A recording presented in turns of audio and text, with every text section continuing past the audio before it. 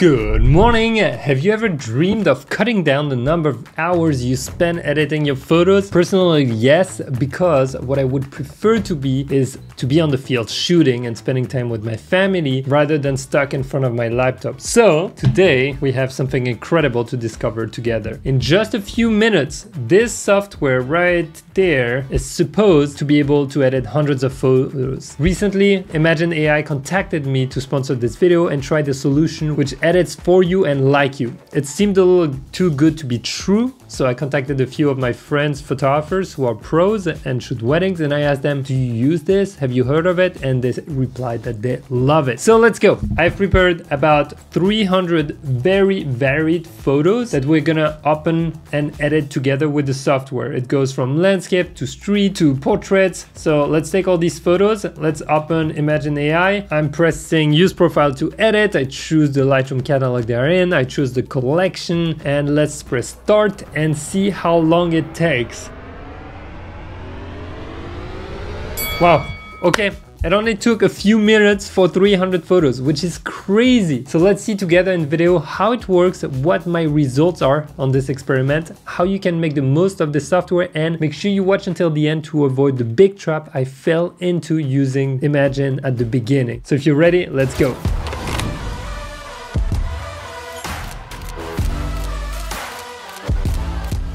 Alright, we have a lot to dig into today and I'm curious to compare the results to what I edited because all those photos have been edited by myself before I actually send them to Imagen so I'm curious to see the result. But first things first, if you don't know me, my name is Pierre T. Lambert, I'm a travel photographer and the creator of the 30 Day to Great Photos, a step-by-step -step method to training your eyes to take better photos no matter what kind of gear you're using so that you love your work too. Now, I also share free tutorials on this YouTube channel so if you want to see more, if you want to learn and grow with me, make sure you hit that subscribe button. Let's go. Let's talk about how this works and we'll review how it edited my photos in just a second. The first thing to understand is that it has to learn how to edit like you. It's a software that's based on AI that's going to learn based on all the work you did before. It will learn how you edit and try to edit the same way as you. I prepared about 4,900 photos and I set it to create my own profile. I went to personal AI profile, then I just followed the prompt, then I gave it a name and I chose all the photos that I wanted to be part of the learning process. Once that's done, all those photos are sent to the software. The software is gonna crunch everything. It's been crunching for a while. Now they recommend 3000 photos to really get the profile ready, but they recommend actually going above and beyond up to 7,000 photos to really fine tune the details in your profile. So for the quick story, when I was a professional photographer, very quickly I started using outsourcing to retouch my photos, to edit them. Why? Because it allowed me to spend more time with my family, more time on the shoot, more time doing business development and spend less time editing photos. If you're ever a pro, if you ever consider being a pro, to me it sounds crazy to still go through thousands of images for a wedding, especially when they're very similar. So I use the company to do that and a lot of my friends are using this and I can tell why very quickly. It is free for you to try the software. There's a link in the description. Just try it right now, download it. You have 1,500 images for free that you can use. It's a no-brainer. See if it works for you. We have a profile that's ready and after that you can literally start using it for editing your photos. So are you ready to look at what it did on the photos together? The photos are edited. I am just downloading them and it opens up Lightroom again and I'm back in my collection with the photos edited by Imagen. Okay, so the first thing I noticed is that on the landscape shots we're very close in all the tones. Now a lot of my images had masks, like local masks, so it will be a little different. This image with the monolith, uh, clearly I did have more contrast than what the profile came up with. So the street photos are very close. Even this night shot comes out almost exactly the same. Uh, sure, there is a more light in the version from Imagen than mine. This uh, quick fix or tuning to do. Yeah, this photo is really impressive in Tokyo because this is exactly how I would do it side by side. Yeah, it's very close. Just a tiny adjustment and we are there wow, okay. There is something about the night photos that it, it comes out more like my daytime photos than the nighttime photos I edited, which probably makes sense. Maybe I mix too many things. We'll talk about that after. This photo with the monkey, the tones are almost the same. Maybe mine is a little warmer overall uh, than the one that was edited. And there's mask that was added on my photo on the left rather than on the right from Imagen. But again, I did not ask Imagen to do masking on those photos. This one with the lady on the side and, and the temple, very similar. I think mine is just a little warmer. The portrait is pretty different, but I will say the way it edited the portrait is very close to one of my preset applied or my style but it's just this one I edited a little differently and put a lot of masking to create separation on that image. So I had a lot of different mask on it. But look at this like if I look at this image it's very very close to what I do. Even those night images came out really nice. I would totally imagine myself editing it like this but in the moment I edited it differently. Now the person walking here with the Dotonbori like reflection. I can tell that on the left, I would actually, I shot, uh, I, sorry, I edited with a much cooler tone. And that's like kind of consistent, I feel like a, a, across all those night shots. Also, it got a little darker. So what it makes me think is I'll probably have to work differently with the night photos. We'll talk about that in a second. These photos I think are a little difficult for the, the process and maybe I would need a different profile for these because there's so much contrast and I edited a little differently and also I noticed that they're much cooler than what I would like. The one with the tuna and the promo here this is great, uh, very similar to what I do. Maybe I have a little more highlights here and my blacks are not as crushed. I mean, overall, I'm sure if I send you the photos, you'd be like, yeah, this is pretty much Pierre style. So there's very little adjustments to make. But if you want to actually fine tune your profile, you can. And this is the magic part. You literally go to your profile and you go adjust AI profile. You choose a raw image and or two or three or four, and you can see the profile applied to them. And then you can tell the software, okay, you know what? I want all the photos to be a little warmer than what you came up with.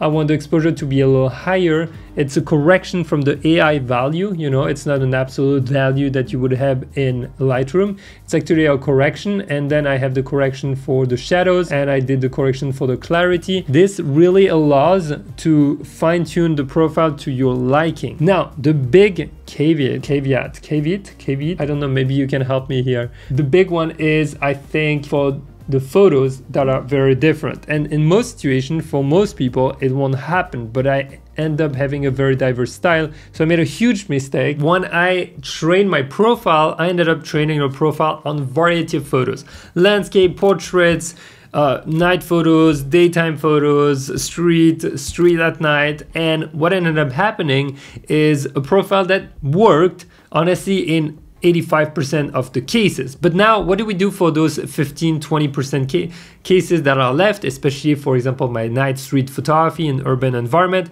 that I did a lot cooler. So the easiest way you can fix that is simply to take your main profile and press duplicate. Once you have the duplicated profile, you can adjust your AI profile like we did earlier.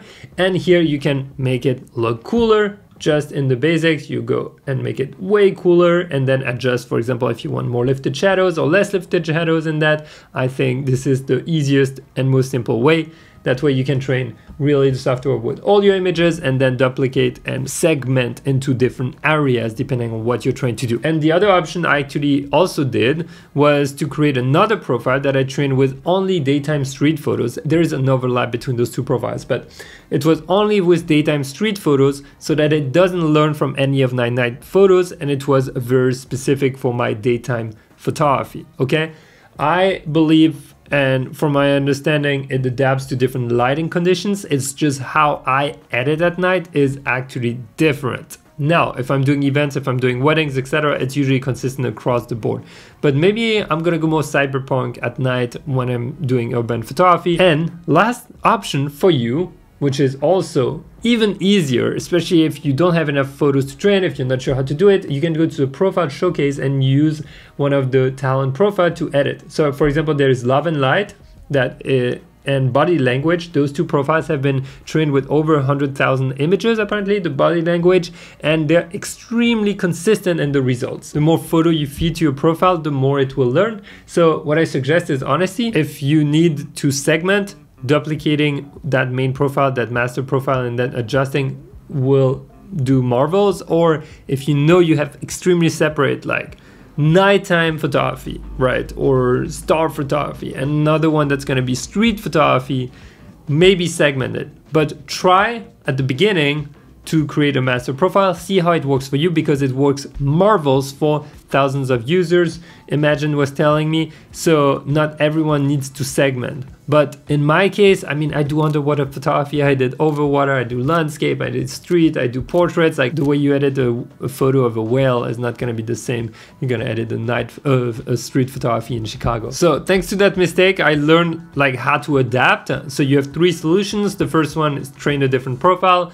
Second one is simply duplicate the, your profile and rename it and adjust it for what your needs are. And you can also try a talent profile, which to see how versatile it can be for your photos. So I'm actually very excited to refine my profile because on the next trip there is no way I'm gonna edit a thousand photos. I'm gonna send it straight to Imagen get back the results and then adjust whatever needs to be done. For Nepal, I had 1000 plus photos to edit. Now with this, it's gonna get me the crop even if I want. It's gonna correct the horizon. It's gonna apply a look and style that I actually find extremely close to my style. And it's gonna correct the exposure and all that straight inside and in a few minutes. Now you may be asking yourself, why not just the preset? Well, the presets are awesome and I love to use them and they're very helpful to save time, but I can't can't apply the same preset to a thousand photos. I can't make the small exposure adjustments very easily to a thousand photos. And that is why I'm actually excited by this solution because it will allow me to save time doing all those tiny tasks that take hour and hour. So avoid the mistake I made. Don't group all your photos, classify your landscape, your street daytime, your street nighttime, and create a profile for each. It is free for you to try the software. There's a link in the description. Just try it right now, download it. You have 1,500 images for free that you can use. It's a no-brainer. See if it works for you. If you've tried it, let me know in the comments what you think about it. At the end of the day, if you're a professional photographer, you need to be saving the time that you're spending editing, okay? You need to shave that off. I can't believe I still have friends who edit manually all their photos for shoots, for events, for weddings. I think it's cool to want to edit manually, but just learn from what you've done over those past years and let the machine help you with that. And then you do the fine tuning and you do some creative edits on the ones that you want. Again, it's not removing it.